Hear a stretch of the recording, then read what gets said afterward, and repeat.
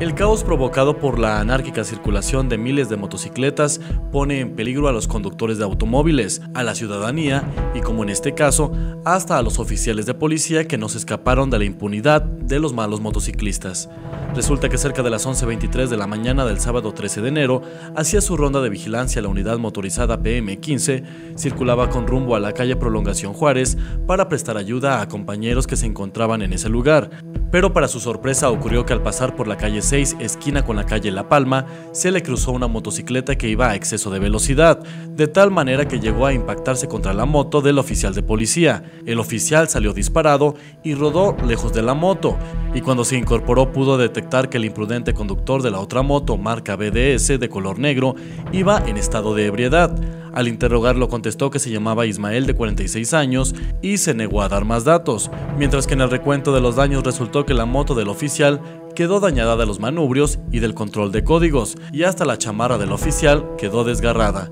El imprudente motociclista fue puesto a la disposición del juzgado municipal y en la prueba de alcoholemia arrojó 0.940 miligramos. La Cruz Roja hizo acto de presencia haciendo revisión precautoria de los involucrados en el accidente y al parecer no resultaron con lesiones serias.